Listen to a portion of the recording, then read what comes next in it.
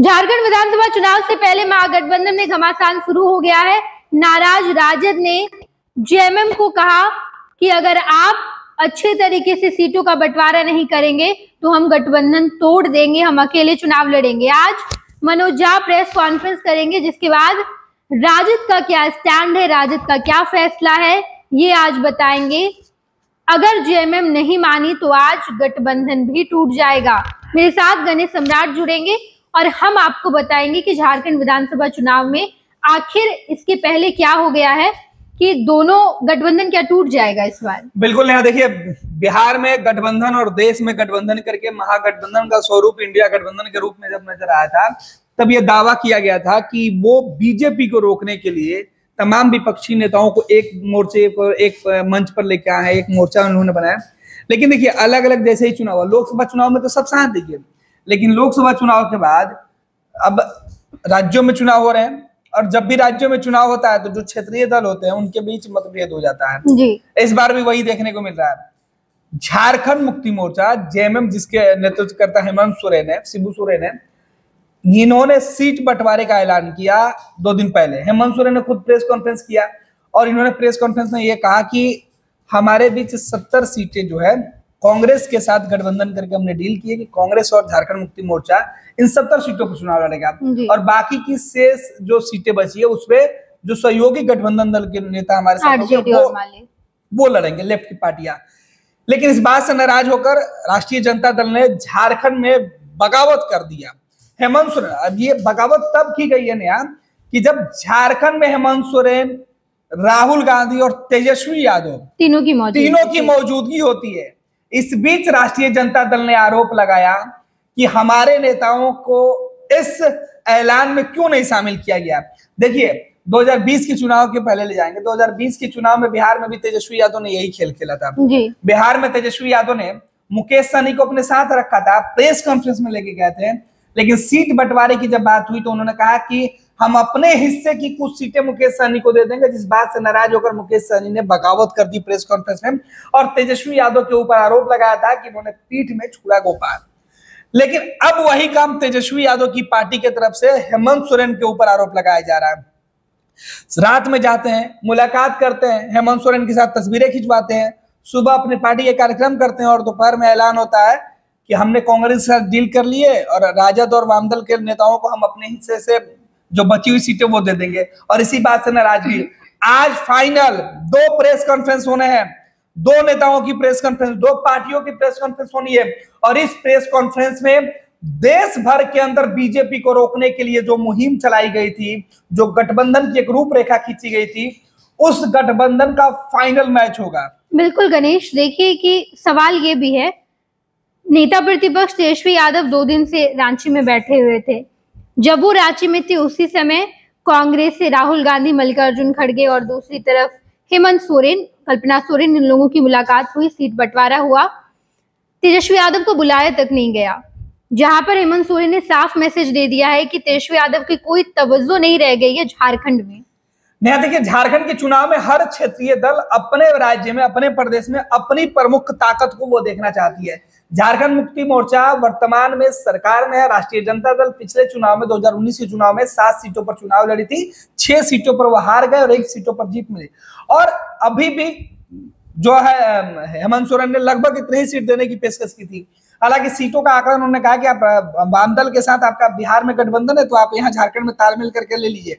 जबकि झारखंड के अंदर लेफ़्ट की जो पार्टी है, उसने भी कहा कि हमें आठ से दस सीटें चाहिए और राष्ट्रीय जनता दल को भी बीस से बाईस सीटें की उम्मीदें थी जो संभव नहीं थी। लेकिन प्रेशर पॉलिटिक्स करने के चक्कर में गठबंधन तोड़ने तक की नौबत आ गई है। राजद का यह दावा ज़रूर है कि वो अकेले चुनाव के मैदान में जाकर बीजेपी को हरा सकते हैं। उनके पास ये कहने के लिए है कि जब वो बिहार में अ, 2019 के चुनाव लड़े थे और बिहार में जब 2020 का चुनाव हुआ था उस बीच हेमंत सोरेन ने बिहार में इनको सपोर्ट किया था कि आप चुनाव लड़िए हम नहीं लड़ेंगे। लेकिन झारखंड में जब चुनाव हुआ 2019 में तो राष्ट्रीय जनता दल के एक जो विधायक थे सरकार में उनको मंत्री बनाया गया और हेमंत सोरेन उनको लगातार मंत्री बना के रखे। चाहे हेमंत की सरकार हो या चंपई की सरकार हो दोनों में वो मंत्री रहे। लेकिन अभी क्या हुआ कि हेमंत सोरेन जब वापस जेल से आया तो वो पूरे झारखंड में घूम घूम कर अपनी पार्टी का प्रचार कर रहे थे मुहिम चला रहे थे। उनकी पत्नी भी कई कार्यक्रम कर, कर रही थी और जिस वजह से झारखंड के अंदर अब आदिवासी बनाम आदिवासी की लड़ाई हो गई थी आदिवासी बनाम बाहरी की लड़ाई हो गई थी। और झारखंड के असली जो मुद्दे थे, जल, ज़मीन और जंगल की जो मुद्दे थे, उस पर बात होने लगी थी। और हेमंत हेमंत सोरेन उसी मुद्दे को लेकर लोगों के बीच जाना चाहता और इधर राष्ट्रीय जनता दल ये चाहती है कि उसे ज़्यादा तवज्जो मिले। हेमंत सोरेन का यह मानना है कि हम ज़्यादा सीटों पर लड़ेंगे तो बीजेपी को ज़्यादा से ज़्यादा नुकसान पहुँचा के वापस सत्ता में वापसी कर पाएँगे। बिल्कुल गणेश, देखिए इस पर सिनेरियो बिल्कुल बदला हुआ है। 2019 के जैसा नहीं है 2024 2024 में बीजेपी के साथ इस पर चंपई सोरेन भी है। चंपई सोरेन जो कि जेएमएम में काफ़ी सालों से थे उन वहीं से उन्होंने अपनी शुरुआत की है। एक और चीज़ यहाँ जोड़ेंगे हम आपको कि इस बार बीजेपी रघुवर दास के भरोसे नहीं है। बिल्कुल माइक्रो मैनेजमेंट की है बीजेपी झारखंड के किसी नेता के भरोसे नहीं है।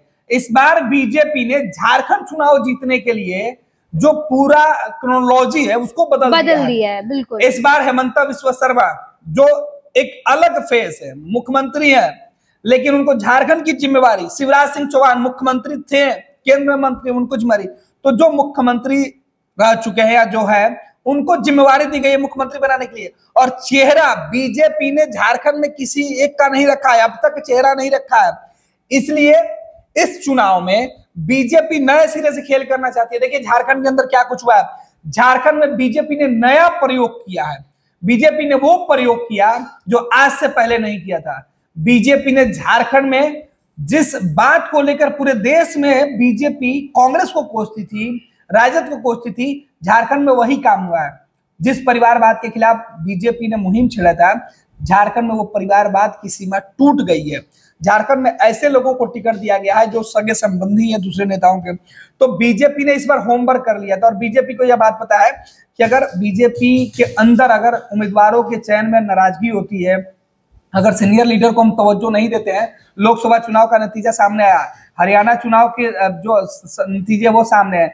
जम्मू एंड कश्मीर में जो नतीजा है, वो भी सामने तो बीजेपी ने इन तमाम चीज़ों से सबक लेकर इस बार झारखंड में फैसला किया है कि कौन कितने सीटों पर चुनाव लड़ेगा और उम्मीदवार कौन कौन होंगे। और ऐसे में जेएमएम को सतर्क रहने की ज़रूरत है। महागठबंधन को भी हेमंत सोरेन बात समझ गए हेमंत सोरेन बात समझ गए। रणनीति बनानी होगी जो बीजेपी को टैकल कर पाए। और शायद यही वजह है कि जेएमएम नहीं चाहती कि हम आरजेडी को ज़्यादा सीटें दें। क्योंकि 2019 में बहुत जीत अच्छी खासी सीटों पर नहीं हो पाई थी आरजेडी की। एक सीट जीते थे वो लोग। देखिए बिहार में जब 2020 का चुनाव हुआ था तेजस्वी यादव और राष्ट्रीय जनता दल के नेताओं ने ही कांग्रेस पे आरोप लगाया था कि कांग्रेस को जितनी सीटें दी गई थी अगर ये सीटें नहीं दी गई होती तो शायद हमारी सरकार बनाने के लिए जो पूरी जो संख्या बल है वो हम जुटा लेते। दो चार पाँच सीटें ऐसी थी राजद की जहाँ मार्जिन बेहद कम था। तो राजद को लग रहा था कि दो चार सीटें और अगर हम लड़े होते तो वहाँ से हमारी सरकार बन सकती थी, वो सीटें हम जीत के आते। तो इस वजह से राष्ट्रीय जनता दल ने यह फैसला किया है कि 2025 के चुनाव में वो ज़्यादा से ज़्यादा सीट पर लड़ेगी। हेमंत सोरेन ने भी बिहार और झारखंड की स्थितियों को देखते हुए उन्होंने फैसला लिया कि ज़्यादा से ज़्यादा सीट पर झारखंड में उनकी पार्टी लड़ेगी, उनकी पार्टी वहाँ की लोकल पार्टी है, वो सत्ता में पार्टी है, उस पर लोगों को ज़्यादा भरोसा है। राजद को यह लग रहा है कि अगर हम पड़ोसी राज्य में ही अगर अपनी पार्टी का जनाधार नहीं बढ़ाएँगे अपना दबाव नहीं दिलाएँगे दिखाएँगे दमखम नहीं दिखाएँगे तो तेजस्वी की जो लोकप्रियता देश भर में बन रही है वो धूमिल होगी यही वजह से तेजस्वी यादव के जो ब्रांडिंग करने के चक्कर में राजद ने यह फैसला लिया है कि वो अगर अभी तक दबाव दिया जा रहा है। प्रेस कॉन्फ्रेंस में आज भी प्रेस हालाँकि कुछ घंटों में तो क्लियर हो प्रेस कॉन्फ्रेंस होना है। ग्यारह बजे के बाद प्रेस कॉन्फ्रेंस है नहीं लेकिन उस प्रेस कॉन्फ्रेंस में अलग रहकर चुनाव लड़ने की घोषणा हो सकती है नहीं देखना होगा। क्योंकि अब तक राजद के नेताओं ने खुलकर नहीं कहा कि हम अलग चले जाएँगे। उन्होंने कहा कि हम इंतज़ार कर रहे हैं। और ये एक बड़ा कदम होगा गणेश क्योंकि अगर आप महागठबंधन तोड़ेंगे तो इंडिया गठबंधन भी टूटेगा। बिल्कुल। झारखंड में तोड़ेंगे तो बिहार में भी टूट जाएगा। पूरे देश भर में इंडिया ब्लॉक जिसे इतना संजू कर विपक्षी दलों ने रखा है वो एक बार में धराशायी हो जाएगा। बिल्कुल अभी महाराष्ट्र में भी चुनाव है देखिए। झारखंड और महाराष्ट्र का चुनाव इसीलिए कहा जा रहा है कि सेमीफाइनल है।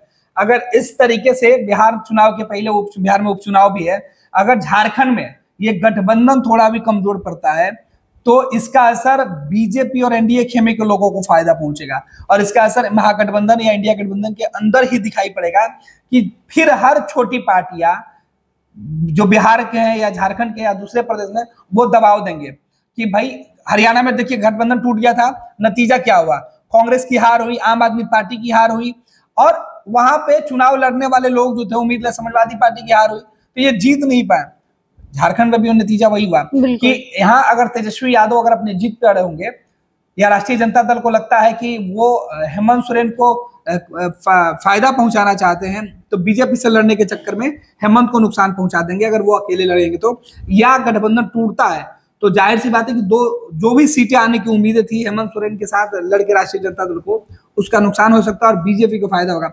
महागठबंधन और इंडिया गठबंधन में खटपट इंडिया को फ़ायदा। बिल्कुल गणेश, ये देखना दिलचस्प होगा। आज मनोज झा प्रेस कॉन्फ्रेंस का आयोजन करेंगे और उसके बाद आरजेडी का क्या स्टैंड होगा? इतने देर में क्या बातचीत हुई? क्योंकि कल ही अल्टीमेटम दिया गया था।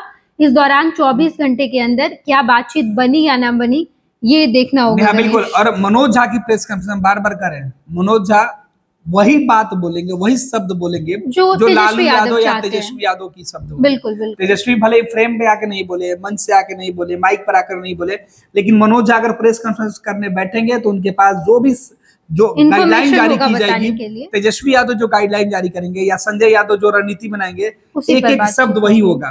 तरीका मनोज झा का हो सकता है। लेकिन गाइडलाइन लालू प्रसाद यादव और तेजस्वी यादव का ही होगा।